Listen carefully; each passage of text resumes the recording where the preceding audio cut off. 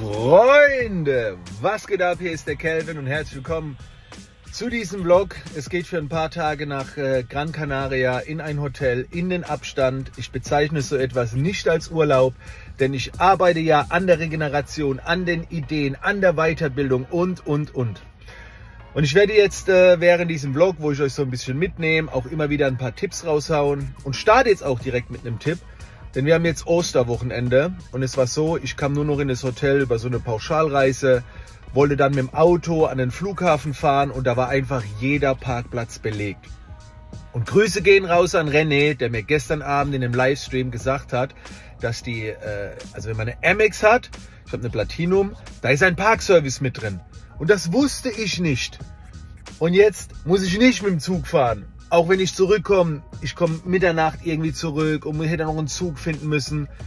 Du fährst mit dem Auto in den Frankfurter Flughafen, kannst das Auto denen geben, die parken es dann auch günstiger und später kannst du es wieder abholen und dann geht es wieder zurück. Wusste ich nicht, dass dieser Parkservice mit drin ist, für alle, die eine Amex-Karte haben. Äh, Tipp an der Stelle. So, jetzt geht's an den Fra Frankfurter Flughafen. Ähm, werde da noch einchecken. Ich schaue mal, dadurch, dass es eine Pauschalreise war, gab es kein Business Class. Ich gucke mal, ob ich vor Ort vielleicht noch ein Upgrade äh, bekomme. Wenn man eine Amex hat, sorry wegen der Werbung an der Stelle, aber da gibt es eh so ein Priority Pass, dann kommt man eh in so ein paar geile Launches rein. Jetzt gucken wir mal, ich nehme euch mit. Äh, dieses Video ist auch eine Erinnerung an mich selbst. Ne? Also das ist ja mein Tagebuch, YouTube-Kanal. Deswegen äh, gehe ich da manchmal so ein bisschen ins Detail. Also, Freunde, Abfahrt. So Freunde, ich bin jetzt am Frankfurter Flughafen angekommen. Das war schon ein Erlebnis, ne? das Auto abzugeben. Aber sowas von bequem, das ging total schnell. Man muss einfach in den Bereich A oben reinfahren, dann hältst du rechts, dann kommt einer angerannt, macht ein paar Bilder vom Auto und dann geht es schon weiter. Also das war, das war geil. Äh, ja, jetzt bin ich am Flughafen, jetzt muss ich erstmal einchecken, muss ich erstmal gucken, wo der Schalter ist. Äh, ja, so viele Leute, ungewohnt. Leute, ich verrate euch jetzt noch mal einen kleinen Trick, ne? wenn eine lange Schlange ist bei Echo, ihr stellt euch einfach bei Business an und fragt, was ein Upgrade kostet. Und selbst wenn ihr das Upgrade dann nicht nehmt, checken die euch trotzdem bei Business für Echo ein. Die schicken euch nicht wieder weg. So könnt ihr Schlangen umgehen. Hey, das habe ich schon so oft gemacht. Jetzt wollte ich aber gerade wirklich ein Business Class Upgrade, aber die hatten keins mehr. Shit. Das heißt, ich fliege jetzt Echo. Jetzt suche ich aber als nächstes erstmal die Prio Lounge, äh, wo man reinkommt, wenn man so einen Priority Pass hat und chill mich da noch ein bisschen hin. So Freunde, ich habe es geschafft mit guter Rhetorik. Eigentlich geht das nicht, aber Freunde, jetzt mal ohne Scheiß, das war wirklich eine knappe Nummer. Eigentlich habe ich ja nur den Prio Pass und es wäre eine andere Lounge gewesen, aber wie gesagt, wenn man nett ist zu den Menschen, dann machen die oft.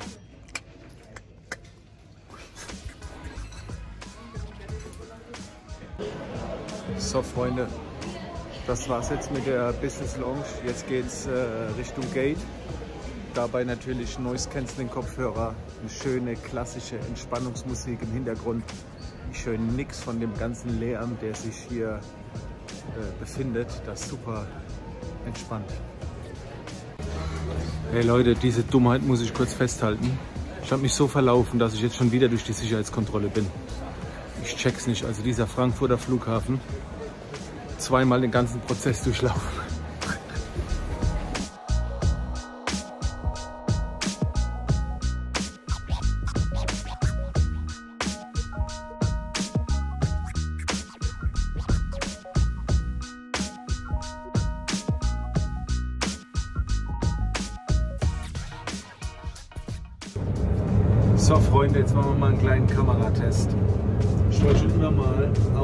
Scheißhaus der Eco-Klasse ein Video aufnehmen.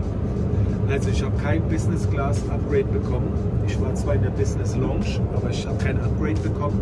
Ich hoffe, das geht jetzt mit dem Ton hier. Also der Eco-Flug geht eigentlich, was so die, den Sitzkomfort angeht. Da will ich mich gar nicht beschweren, aber weißt du, mir fehlt schon so das Essen, viel zu wenig Getränke, dann kaufst du so eine kleine Cola irgendwie für 2, 3 Euro. Also das ist schon hart, ne? Das ist schon hart. Aber anyway, in einer Dreiviertelstunde sind wir da. So Freunde, angekommen. Viele Wolken, 20 Grad. Let's go. Kofferempfang, Freunde. Jetzt geht's nach draußen.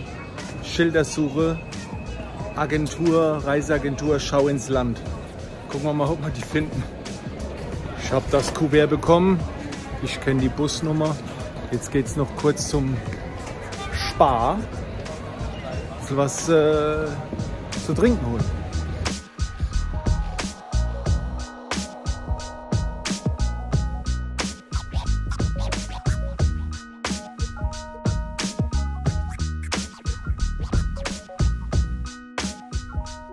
Ich habe mir gerade gedacht, ey, weil ich der Letzte bin, entweder die, die anderen Hotels waren besser und das Hotel ist scheiße, wo ich jetzt bin, oder ist einfach zu teuer. Aber sieht gut aus. Endlich angekommen, ey. Boah. So, Freunde, ich habe jetzt gerade mal den Spa-Bereich abgecheckt. Der muss riesig sein. Da filme ich natürlich nicht mit, aber ähm, da gibt es dann nochmal so zehn verschiedene Becken mit verschiedenen Temperaturen und Wasserfällen und so weiter. Und ich habe jetzt mal eine Massage gebucht für Montag noch. Ähm, ja, für morgen ist leider der Spa-Bereich komplett dicht. Keine Chance mehr.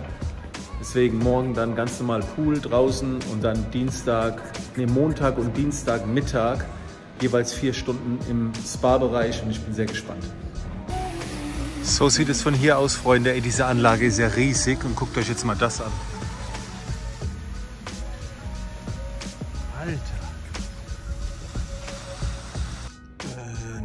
Freunde, also äh, die haben hier 7000 Zimmern. Also, wie soll ich bei 7000 Zimmer äh, durchblicken? Also, wo geht's denn hier lang? Freunde, ist jetzt kein Scheiß. Ich renne jetzt hier schon seit 20 Minuten rum. Ich blick's nicht, wo ich bin. Das ist, das ist ja noch krasser wie die Dubai Mall. Wirklich. Ich äh, bin, glaube ich, noch sehr weit von meinem Zimmer entfernt. Hey Freunde, ich bin jetzt angekommen und ich schwöre es euch, ich bin noch nie, noch nie so lange in einem Hotel unterwegs gewesen, um ein Zimmer zu finden. Die haben über 7000 Zimmer. Also das war jetzt äh, richtig hart. So, kleiner Tipp noch am Rande. Ich habe immer AirTags dabei. Keine Ahnung, ob ihr wisst, was es ist. Habe ich in meinem Rucksack, in meinen Geldtaschen, in meinem Koffer dass falls mal was wegkommt, sehe ich genau am Handy, wo alles ist. Das sind so versteckte Sensoren hier. Ey, und die haben so viele Pools. Ich gehe jetzt gleich mal zum Abendessen und dann gucke ich mir das mal an, wie hier so die Lage ist. Aber hier, der hier ist auch schon mal ganz cool. Ich war jetzt beim Essen, Freunde, und habe gar nicht mitgefilmt. Das Ding ist, da war wirklich ein 50 Meter langes Buffet und ich komme mit Nudel und Soße zurück. Ey, da bin ich echt überfordert, da fehlt mir echt meine Frau. Aber äh, ja, äh, die nächsten Tage äh, werde ich da wohl ein bisschen vielzeitiger werden. Und guck mal jetzt, das ist doch eine geile View, oder? Ich setze mich jetzt noch hier hin, lese noch ein bisschen was. Guck mal, bei uns ist jetzt 20.34 Uhr mit kurzen Sachen noch draußen. Das hat mir gefehlt. So, bis morgen. So, Freunde, ich war jetzt frühstücken. Kleines Geschmäckle, würde der Schwurb sagen. Ich wollte mir gerade noch ein Brötchen mit einpacken und mitnehmen zum Pool. Da haben sie gesagt, es ist verboten. Sag ich, warum? Ja, mein Boss hat gesagt, also mal ein Brötchen einpacken ne, vom Buffet und mitnehmen, geht nicht. Selbst wenn du es nicht runterkriegst, ne, musst du das Essen wegwerfen, aber nichts mit einpacken und mitnehmen. Das ist schon, äh, naja, naja. So, Freunde, ich war jetzt hier zwei Stunden etwa am Pool. Ich werde keine Wanderung machen, aber ich gehe spazieren auf jeden Fall. Das ist mir äh, zu großflächig hier am Pool. Äh, ich habe auch eben gerade so ein bisschen Powernap gemacht und alles. Und ich werde später auf jeden Fall nochmal an den Pool gehen. Äh, und dann weiter wieder ein paar Stunden lesen und so. Aber ich brauche jetzt ein bisschen Bewegung. Das geht gar nicht. So, deswegen gehe ich jetzt mal die Promenade ein bisschen entlang. Werde mir Kopfhörer reingeben, ein bisschen Meditationsmusik hören und so in die Stille gehen. Weil wie gesagt, hier es ist auch noch nicht heiß genug, ne, irgendwie. Ich will so ein bisschen in die Sonne und hier ist alles noch ein bisschen zu schattig. Das ist jetzt also gerade so Stand der Dinge. Jetzt gehe ich ins Hotel, ziehe kurz andere Sachen an, also aufs Zimmer und dann mache ich einen kleinen Spaziergang. Also eins ist auf jeden Fall klar, Freunde, ich erlebe hier einiges. Ich habe gerade so einen abgesperrten FSK 18 Bereich gefunden und habe gedacht, naja, da kann man sich hinlegen, das sind keine Kinder, da ist schön ruhig. Lege ich da, natürlich angezogen, kommen da Menschen rein, ziehen sich alle aus. Alle 60 plus habe ich mich nicht wohl gefühlt, bin wieder gegangen.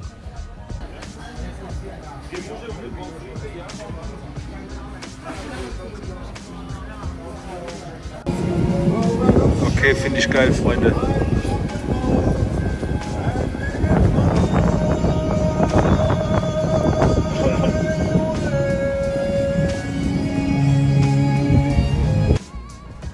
Kleiner Einblick hinter die Kulissen. Ich sitze jetzt hier auf dem Balkon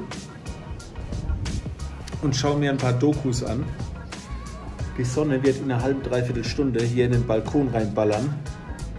Und dann werde ich auf jeden Fall noch ein bisschen mein Gesicht in den, in den Sonnen halten.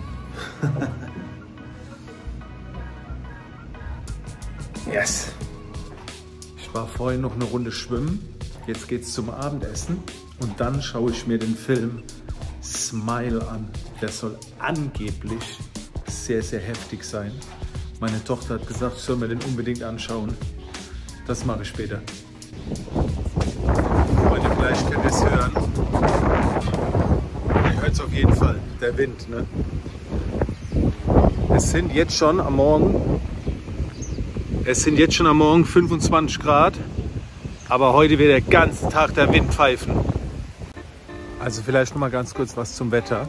Äh, es ist permanent sehr, sehr warm. Ich, hab, ich ziehe jetzt auch gleich wieder meine Jacke aus. Ich dachte, es wäre kühler. Äh, aber die Sonne ist schon so manchmal ein bisschen Mangelware. Ne? So die direkte Sonne. Und äh, wie gesagt, heute soll es den ganzen Tag pfeifen vom Wind her. Bin ich mal gespannt. Ansonsten Wetter aber ist gut. Ja. Das ist übrigens dieser Bereich, wo ich die letzten Tage war, der scheinbar FKK ist. Ich habe keine Ahnung. Ich gehe da jetzt rein, weil er direkt zur Sonne zeigt und da ist noch niemand, aber sobald jemand kommt, gehe ich. ich bin wieder in dem FKK-Bereich angekommen. Ich zeige ihn euch mal, da ist noch keiner drin. Eigentlich ist es wahrscheinlich noch nicht mal ein FKK-Bereich, sondern einfach nur ein Bereich für Erwachsene, wo keine Kinder sind. Aber da waren sie gestern nackig. Egal. Ich bin jetzt hier und wenn jemand kommt, hier ist genau mein Fluchtweg nach draußen. Also der ist gesichert. Ich bin ruckzuck raus dann. Ich habe mich entschlossen, ein bis zwei Stunden hier zu verbringen weil hier schön windgeschützt ist, tolles Wetter. Da lese ich jetzt ein bisschen, plane ein bisschen den nächsten Jakobsweg, den ich im Juli gehen werde. Let's go. Junge, Junge, Junge, ich sag's euch, ich bin so froh, dass ich den Spa-Bereich nochmal für morgen gebucht habe. Ich war ja noch nie in der Sauna und so, ne? Und in dem Spa-Bereich, 90 Grad Sauna, danach in so eine Iglu-Höhle, 5 Grad, wo du dich mit Eis einreibst. Dann in ein Salzbecken, wo du so floaten kannst, wo du dich reinlegst und nicht untergehst. Und noch unzählige andere Räume. Alter, ist das gut. Also morgen wieder vier Stunden. Der Hammer. Schönen guten Morgen, Freunde. Heute ist der letzte volle Tag in Gran Canaria. Es ist 9 Uhr ich gammle hier noch im Bett rum, war ein bisschen am äh, iPad gesessen und frage mich gerade, äh, ob ich nach draußen gehen soll. Also um 10 Uhr ist meine Frühstückszeit. Da gehe ich auf jeden Fall hin. Um 12 Uhr habe ich noch einen Massagetermin. Um 14.30 Uhr geht es dann in den Spa-Bereich, der gestern wirklich sensationell war. Also gerade das Thema Sauna und dann Eis, ne, in so eine Eishöhle. Und im Spa-Bereich gibt es auch äh, einen Outdoor-Garten. Also da sind auch wirklich keine Kinder. Und ich glaube, da werde ich dann so ab, ja, so ab 16.30 Uhr werde ich dann da in diesem Garten sein bis zum Abend. Äh, ich glaube, so sieht heute der Tag aus. Und morgen geht es dann wahrscheinlich erst gegen Nachmittag hier weg. Da kriege ich aber noch Infos. Das ist der Plan. So Freunde, kurzes Update. 28 Grad. Ist jetzt gleich 12 Uhr. Ich gehe jetzt nochmal zur Massage. Dann kurz was äh, zum Mittagessen und dann gehe ich in den Spa-Bereich, weil es der einzige Bereich, der wirklich ruhig ist. Und da gibt es auch einen schönen Outdoor-Bereich. Freunde, ich bin ja nicht in der Mittagsverpflegung hier drin. Deswegen ein bisschen Leberwurst. Ein Leberwurstbrot mittags, das muss reichen. Gell? So, essen wir jetzt was und dann geht es in den Wellnessbereich.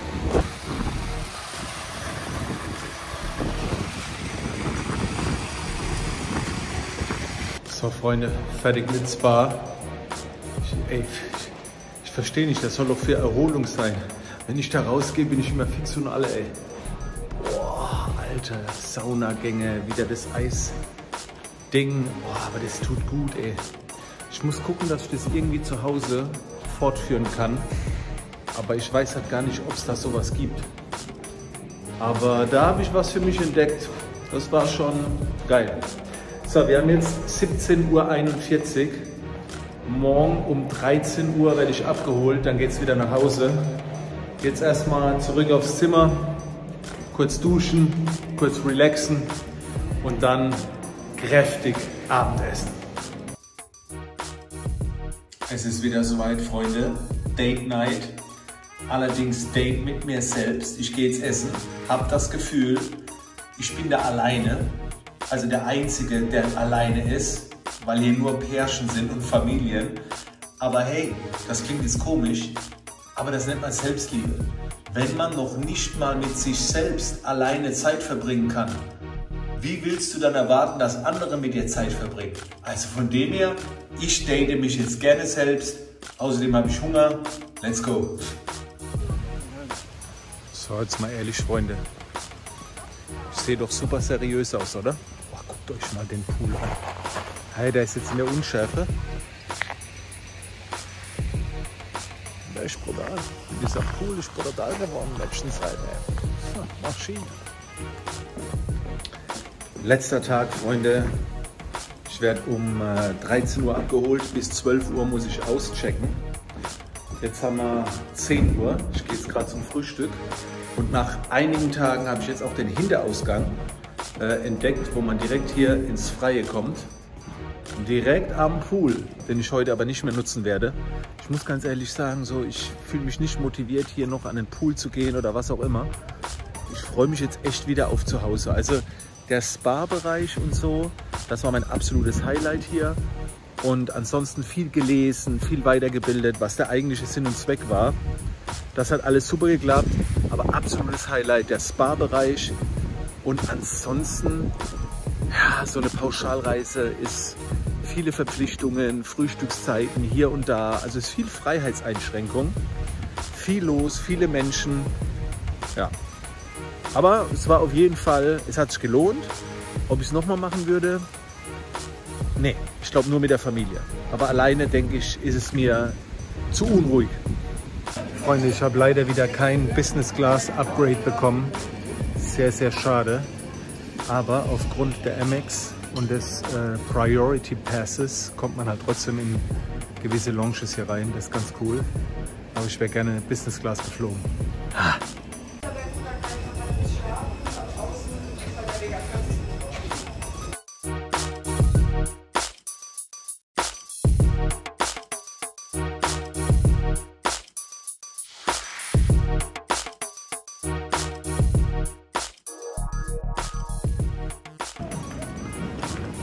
So, Freunde, 22.40 Uhr deutscher Zeit gerade gelandet. Performance Level 1,7. Das heißt, morgen gibt es einiges aufzuholen, was Energieaufladen angeht. Also das ist schon hart, ne? Ich komme hier definitiv nicht erholt an. So, aber das war ein kleiner Einblick, das war eine Erinnerung an mich selbst. Es wurde alles gesagt, Freunde, und ich würde sagen, bis zum nächsten Mal.